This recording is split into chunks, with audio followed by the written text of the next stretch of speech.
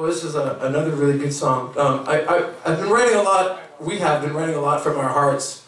And uh, this song is actually about my dad. I'm sorry to depress you all so much. but um, once my mom died, because that happened kind of recently, he kind of uh, fell to a billion pieces. And he was like a rock solid Greek dad.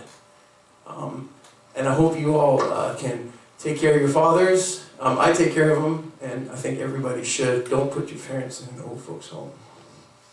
Okay.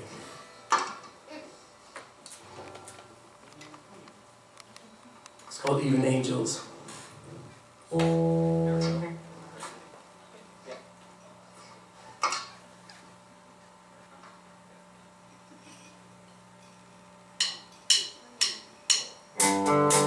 can't sleep, I've